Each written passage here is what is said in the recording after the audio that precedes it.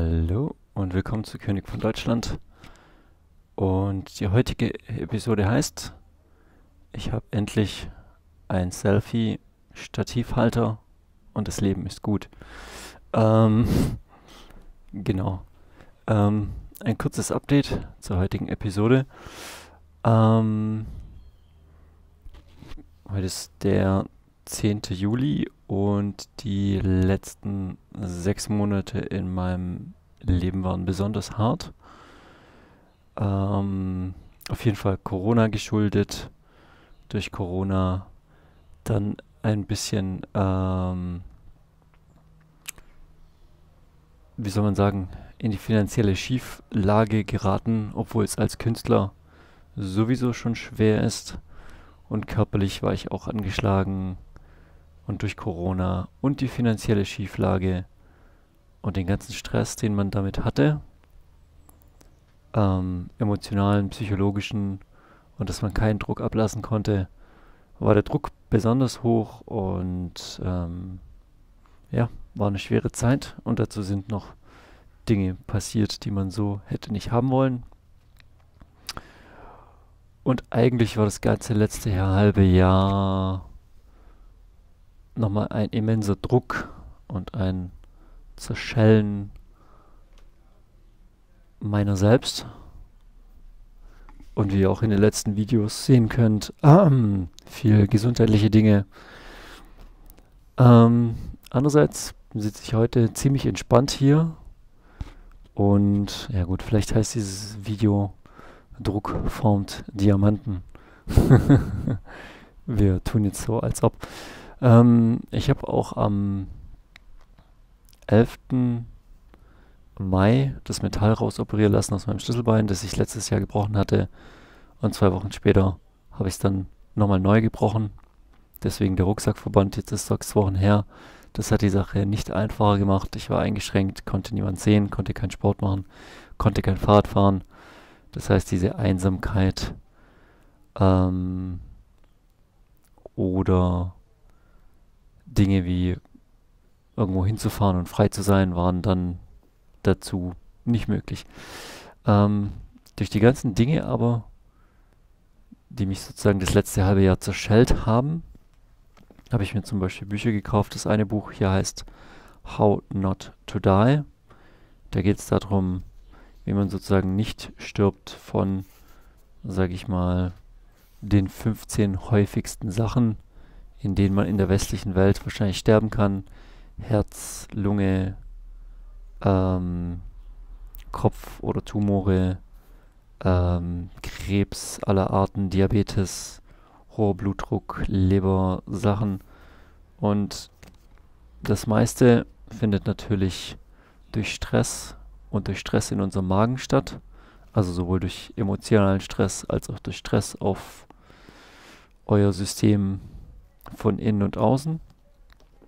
Und dann habe ich mir im letzten Buch geholt, das heißt Love and Survival. Äh, Dr. Dean Ornish, der wird in diesem Buch auch genannt.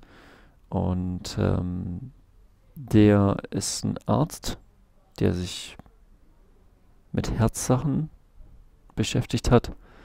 Ähm, aber in diesem Buch geht es dann weniger um Ernährung, mehr um How Good Relationships Can Bring You Health and Well-Being. Und dieser ganze Kanal, wenn jemand zuguckt, ähm, ist, glaube ich, dazu gebaut, um ein gutes Leben möglich zu machen, wie natürlich alle YouTuber, die dann so Self-Help-Zeug machen. Aber ähm, es soll eigentlich jetzt nicht irgendwas so sein, dass ihr es euch anguckt und liked und subscribt und so, sondern dieser Kanal ist da für den Fall, dass ihr irgendwann Hilfe braucht und ihr gebt es ein ins YouTube und dann kommt die Antwort hoffentlich schnell und dann wird da drin stehen, eine warme, gesunde Mahlzeit wird euch heilen und Rauchen, Saufen und Zucker konsumieren weniger oder abstellen wird euch ein gutes Leben ermöglichen. Und die letzten Monate habe ich natürlich alles gemacht, um dem Stress zu entfliehen und Druck und Schmerz. Und entfliehen hat eigentlich nur die Sache verschlimmert, weil man sich dadurch Krankheitssymptome geschaffen hat. Ich habe dann diese Krankheitssymptome alle gelöst. Zum Glück bin ich schlau genug. Ich hatte auch keine andere Wahl, sonst hätte es mich, glaube ich, einfach gekillt. Das klingt für manche jetzt übertrieben, aber das ist es nicht. ähm und was ich noch rausgefunden habe, ist ja, also so gut unsere Welt von außen aussieht und die ist es wirklich. Also wie gesagt, jetzt heute geht es mir gut und das letzte halbe Jahr, ich hätte es gerne vermieden. Aber irgendwie bin ich jetzt auch dankbar für den ganzen Druck und für die ganze Scheiße, durch die ich durch bin, weil es hat mich zu einem besseren Spieler gemacht. Ich vergleiche das ein bisschen mit zum Beispiel Magic the Gathering oder Tabletop oder ich weiß jetzt nicht, mit einem Spiel. Mit einem Spiel des Lebens. Weil manchmal fängt man ein Spiel an und man kommt da dazu und man hat keine Ahnung, wie das funktioniert. Und dann ist klar, dass man eher verliert oder nicht so gut mitspielen kann. Und je mehr man spielt, desto mehr man Fehler macht und desto mehr man am Ball bleibt, desto besser wird man. Also man, man, man fängt an, die Fehler schon von weitem zu sehen oder man merkt schon, okay, in die Richtung geht's nicht. Das braucht manchmal seine Zeit. Ähm, und es bräuchte eigentlich diese Zeit nicht, wenn wir eine gute Führung hätten. Gute Lieder, gute Eltern. Manche von euch, die gute Eltern haben, werden dieses Video nie sehen. Leute, die wahrscheinlich nicht so gute Führung hatten, werden dieses Video gucken. Ähm, aber ich glaube, unsere Gesellschaft hat Probleme und ich würde hoffen, dass wir die erkennen und die Grundursachen lösen und beheben und nie wieder machen.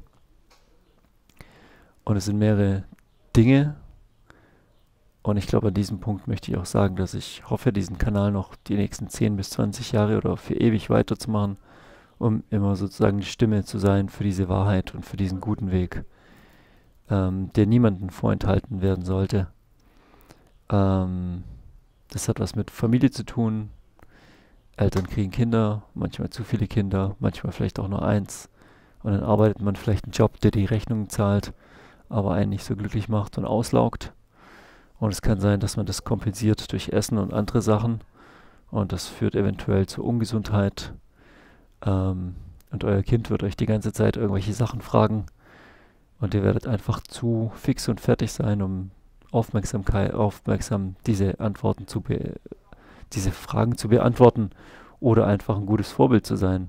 Hoffentlich nicht, aber so sehe ich es gerade im, im, im vermehrt in der Mehrzahl unserer Bevölkerung oder der westlichen Welt oder vielleicht der ganzen Welt.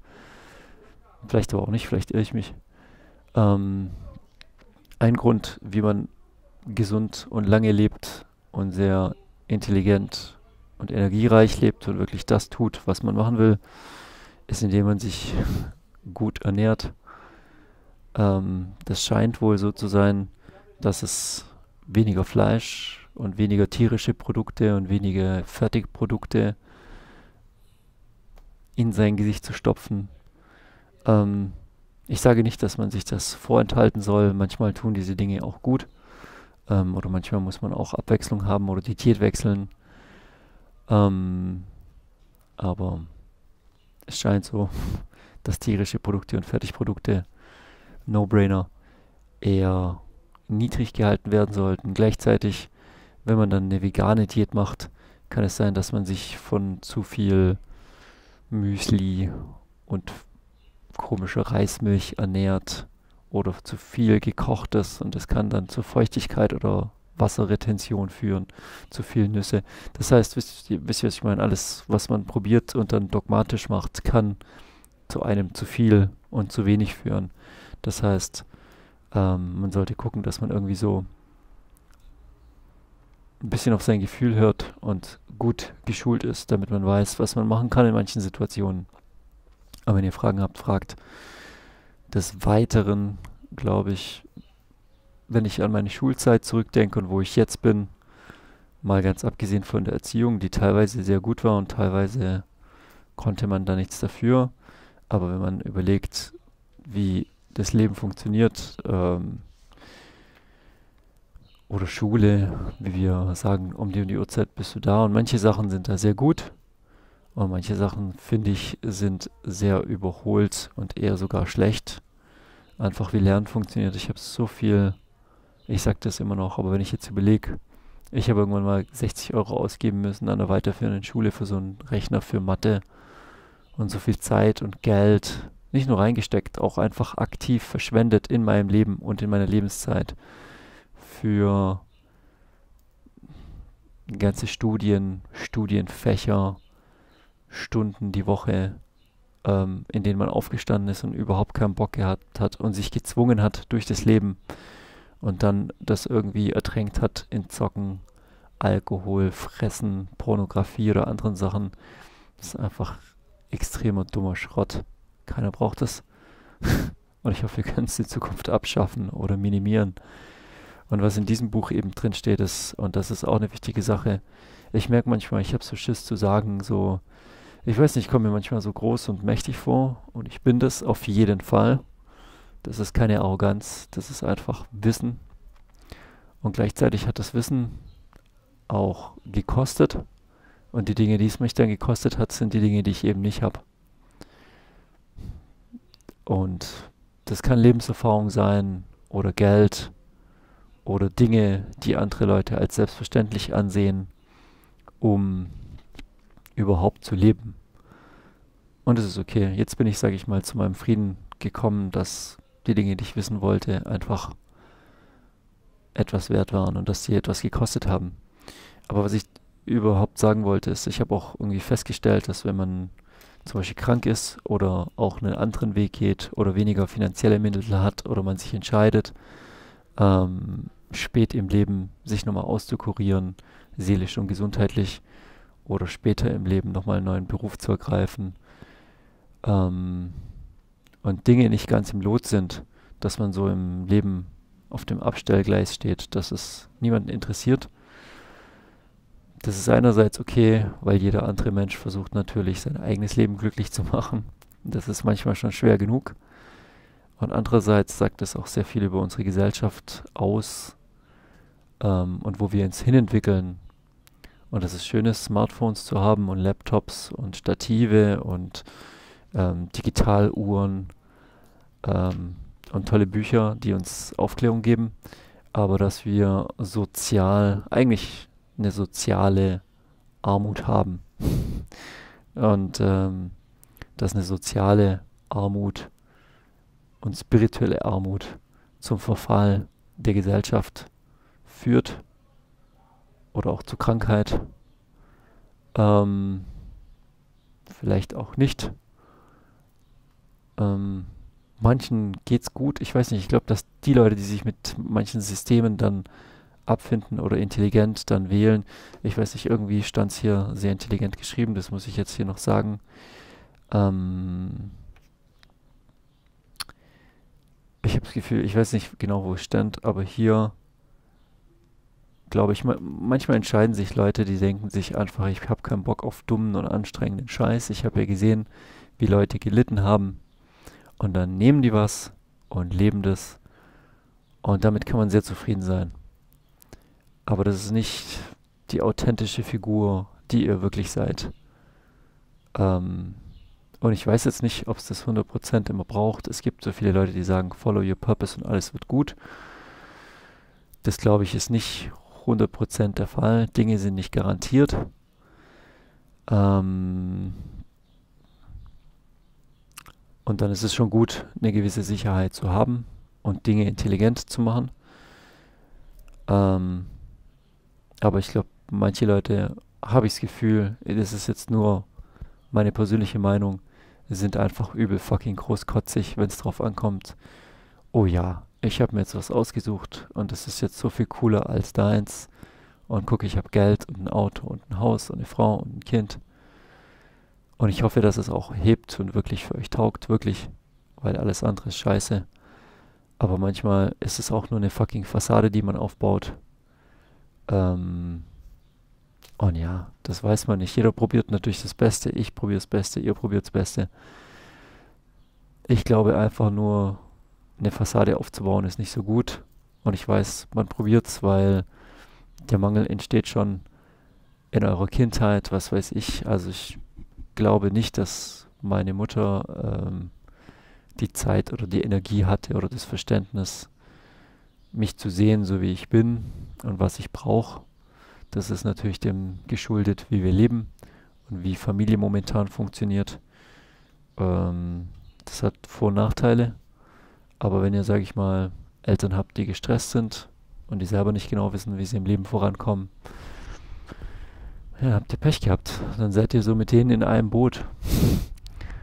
Und wenn ihr dann in der Schule seid und in der Schule nicht gesehen werdet für das, was ihr wirklich könnt und seid, ähm, und der Wert liegt in dieser Welt natürlich auf anderen Dingen momentan, werdet Arzt, damit ihr jeden Patienten Pillen verschreiben könnt ähm, und fünf Minuten so in Dauerschleife die abhandeln könnt und statt wahre äh, Wurzeln zu heilen, nur die Symptome kuriert, damit euer Apparat läuft und ihr euch selber und eure Schwestern zahlen könnt.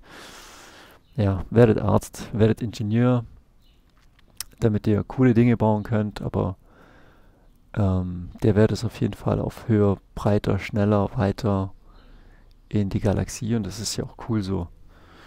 Ähm, aber solche Prozesse, wenn man nach oben hinaus will, sollten auch immer Wurzeln haben. Und zwar Wurzeln äh, in der Menschlichkeit und irgendwie, dass man anderen Leuten nichts Dummes antut, was man selber nicht haben will. Und dass man manchmal auch vielleicht Zeit hat, den Leuten zuzuhören. Das heißt nicht, dass ihr irgendein Bückstück seid oder euch für andere Leute aufopfert oder dass ich das cool finde. Das finde ich überhaupt nicht cool. Aber dass ihr irgendwie probiert, probiert, ein Mensch zu werden und zu sein. Ähm, und dass ihr versucht, irgendwas Gutes zu geben, insofern das möglich ist. Genau, so viel dazu.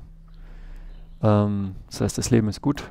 Mein Selfie-Stativ, weil die Handys einfach größer geworden sind, funktioniert sehr gut. Das ist so ein Ding, was man nach oben und nach unten drehen kann. Tatsächlich habe ich es für einen Zehner bei Amazon bestellt und es kam geöffnet. ähm, aber es funktioniert sehr gut. Ich habe auch schon eine Schramme reingehauen, indem ich es probiert habe, auf mein Stativ zu klatschen. Aber ja, so ist das Leben. Manchmal kriegt man Schrammen, manchmal geht man an den Sack. Ähm, aber solange ihr am Leben und an der Liebe festhaltet, hoffe ich, ähm, dass es weitergeht und gute Dinge passieren. Also, bis bald. Ciao.